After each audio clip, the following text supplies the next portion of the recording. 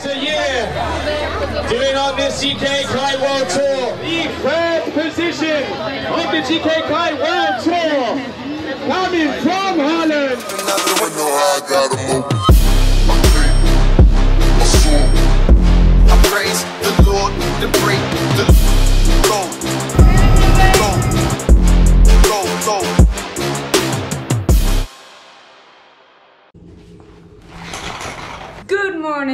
Everyone, and welcome back to another Pips vlog. It is a bright, sunny day in Brazil. It is one day before the competition. I'm gonna head to breakfast now. We're in meeting point. A lot of competitors are staying here, so let's see what everyone is up to.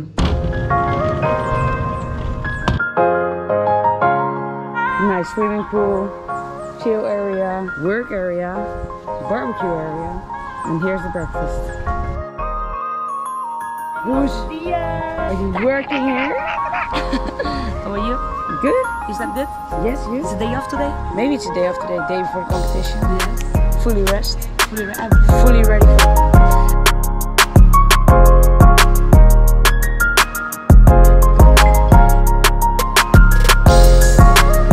For yum. Fill up the stomach with a good breakfast. I'm walking to Rita to have some nice yoga. See? I hear you coming upstairs already.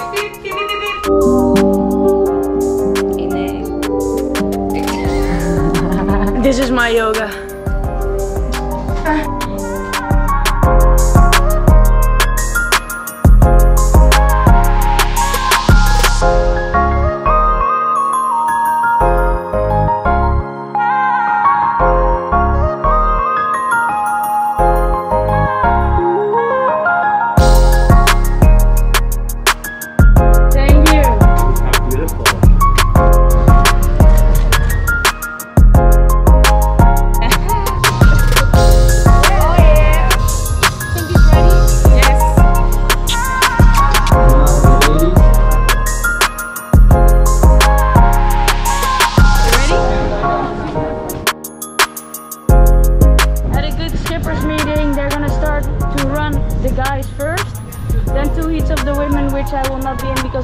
Because I'm already pre-seated in round three.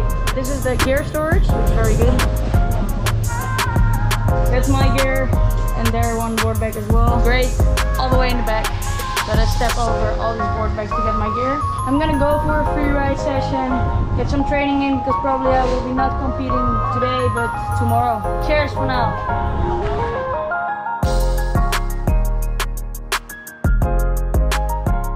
Everyone, you said it would be enough for me, uh, but Oh, didn't now I I'm say? devastated. Didn't I say it wouldn't be enough?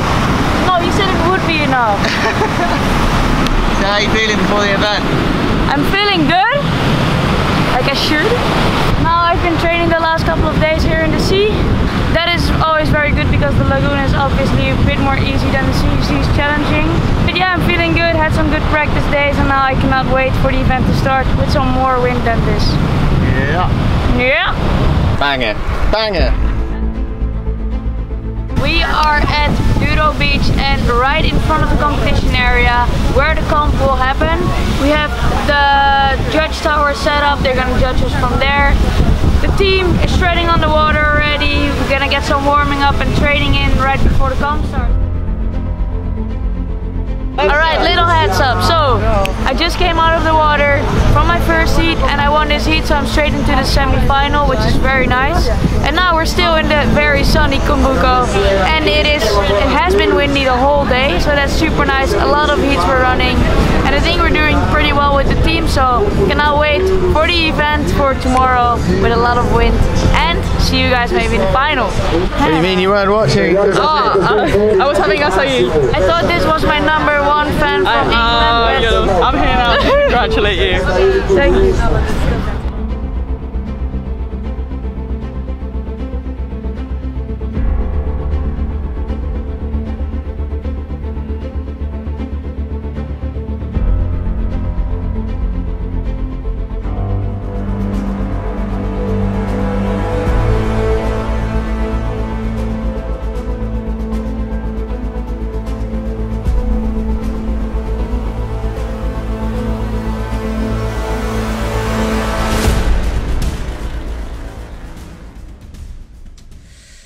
This unfortunately meant that I didn't make it to the finals in this event. I end up fifth place, went to the semifinals. I really didn't show what I wanted to show. After losing, there's a lot to think about. A lot of scenarios pass my brain that I could maybe do something different. Sometimes in events it works out the way I want. This time it just didn't work out the way I wanted to.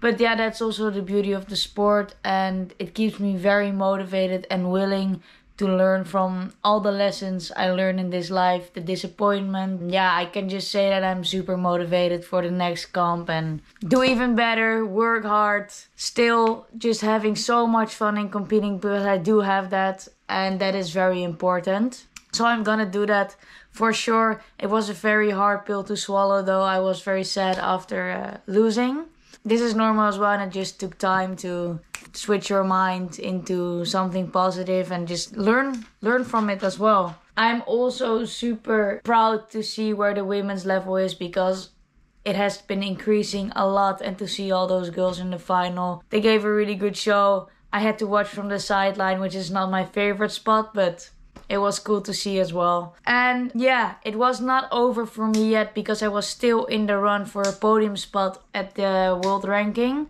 It was out of my hands if I would still have an overall ranking or not. So you're gonna see what happened after this final. Year after year, doing on this GKA Kite World Tour.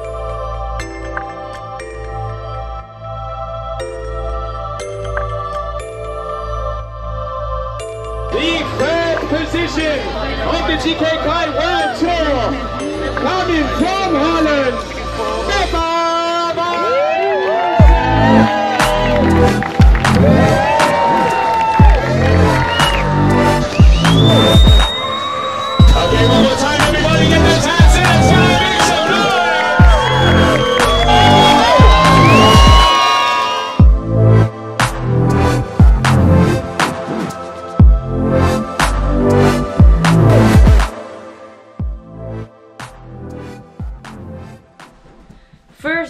I want to thank everyone for the insane support I had via Instagram messages. It was overwhelming and it really warms my heart. So, thanks everyone for the support. I am super happy with my third place and proud as well. For 2021, third in the world, pretty sick. It has been a bit of a weird year due to Corona, but it is like that. And uh, for now, I'm gonna focus on Big Air because in Cape Town we're gonna have the last stop of the Big Air Kite League as well. Hopefully, it's gonna be some strong days as well, so I can train a bit on Big Air here. I hope you guys enjoyed this vlog and see you in the next one. Oh.